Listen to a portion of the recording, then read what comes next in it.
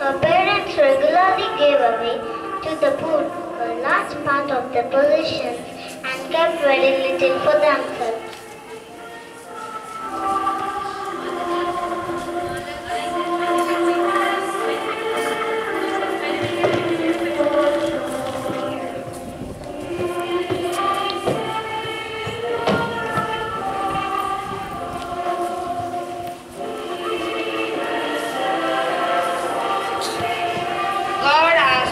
Us with enough wealth to help the poor.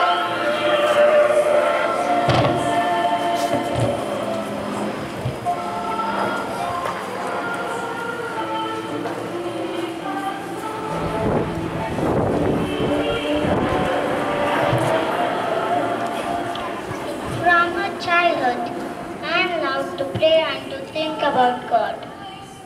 But she also grew to be an industrious helper around her home. The more she learnt about the awaited coming of the Savior, the more ardently did she pray.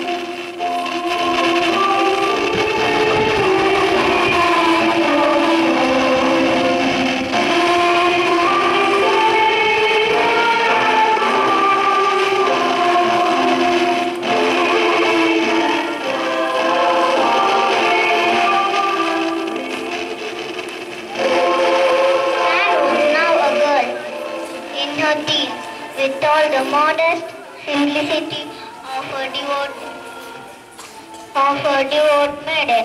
One day, Anne happened to be praying fervently to God to give her a husband who would help her to live according to the divine law.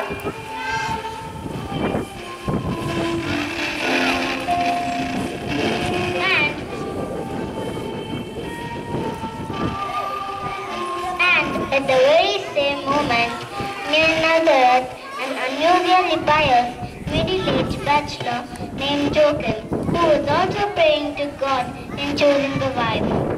When the prayers of Saint Anne and Joachim were present by the angels before the throne of the Blessed Trinity, God decreed that this pure couple should unite in marriage and be the parents of the future mother of Messiah. The Archangel Gabriel was sent to announce this decision to them both. The Archangel Gabriel appeared in visible form to Anne while she was praying. He said to her, The Lord give thee his blessings, servant of God. Continue to pray for the coming of the Redeemer and rejoice in the Lord. It is his will that thou accept Joachim as thy husband.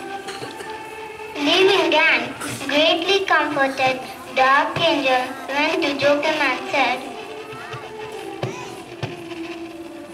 Blessed be thou by the Lord. Joachim, follow the practices of justice in perfection. The Lord wants thee to take Anne as thy wife. Take care of her, esteem her, for she is dear to him, and give thanks to God. And so Joachim Anne's marriage was blessed in many ways. The couple prospered when they moved to Jerusalem.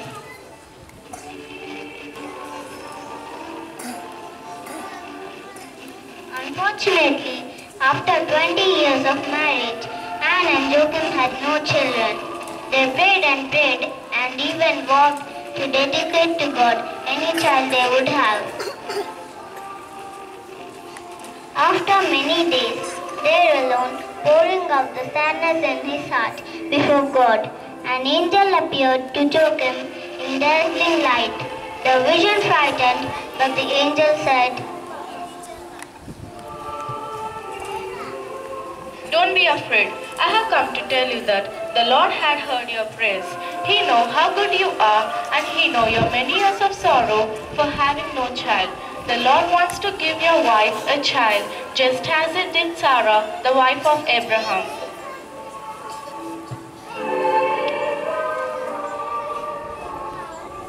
Meanwhile, Anne, not knowing where her husband had gone, grew anxious and afraid. She too was heard that she had no children and felt as though she was being punished by the gods. And so she prayed to God in her garden.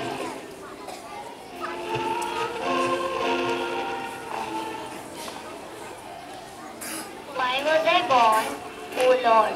The birds build nest for their young, yet I have nothing.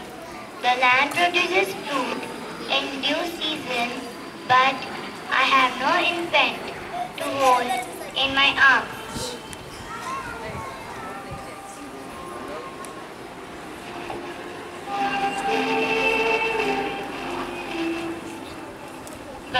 Had heard your prayers. You will conceive a child. Suddenly, the angel of the Lord came to her and said, And the Lord had heard your prayers. You shall conceive a child whom the whole world will praise. You will bear a daughter and call her Mary and dedicate her to God. Anne conceived and started praising God.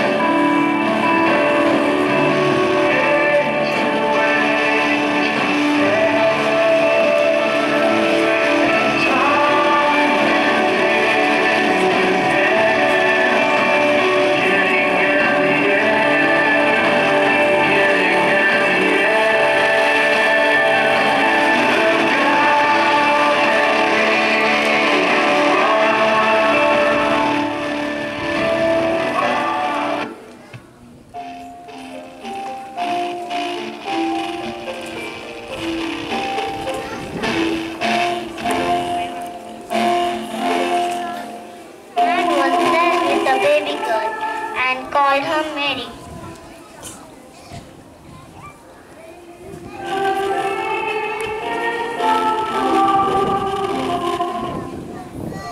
was blessed with a baby girl and called her Mary.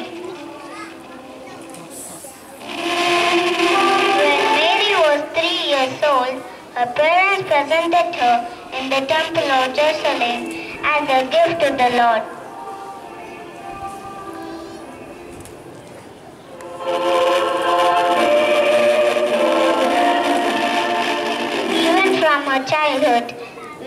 To know that her life was to serve God. And Joachim wished that their daughter be near to God.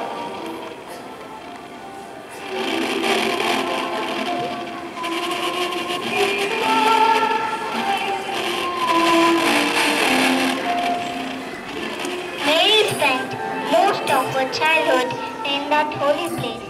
At the age of 14, Mary was married to Joseph and they were blessed with a baby boy. They named him Jesus, our Savior.